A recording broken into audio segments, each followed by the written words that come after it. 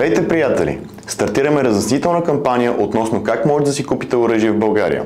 В това видео ще ви обясним за различните видове оръжия и всички административни процедури, през които трябва да минете, за да ги притежавате. Ще разгледаме всеки вид оръжие по-отделно в поредица от видеа, които ще бъдат качени в YouTube канала и Facebook страницата ни. А сега ще посочим видовете оръжия и какъв път трябва да извървите, за да ги притежавате. Често ни питат как да си купя пистолет или пушка. Тук няма еднозначен отговор, защото има различни видове оръжия. Ловни, бойни, газови, въздушни, Airsoft и други. Всички те са с различна поразяваща сила и съответно изискванията са различни. Има едно изискване валидно за всичките. Трябва да сте пълнолетен.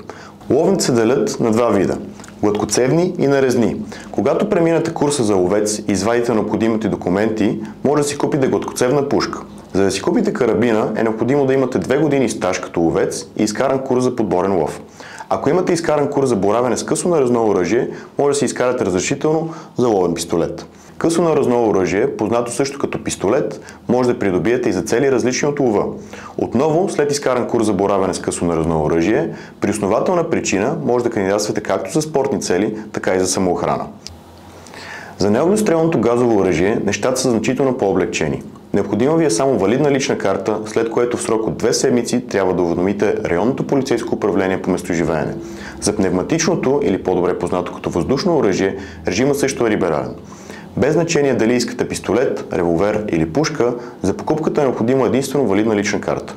Ако оръжието, което сте купили е с енергия по-голяма от 24 джала, ще трябва в срок от две седмици писменно да уведомите районното полицейско управление по местоживеене.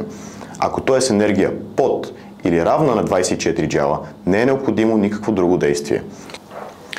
И последно във видеото, не на последно място, набиращи все по-голяма популярност у нас, Airsoft оръжията. Понеже те са с малка кинетична енергия и изстрелват топчета с големина до 6 мм, практически с най-либерален режим. Не са необходими нито специални курсове, нито регистрация, нито се уведомява районното полицейско управление по местоживеене. Ако видеото ви е харесало, сложете палец. В следващите видеа ще ви разкажем подробно каква е процедурата за закупуване на конкретния вид оръжие, както и как се става ловец у нас. За да не изпуснете някои от видеята, не забравяйте да ни последвате в YouTube и Facebook. До скоро!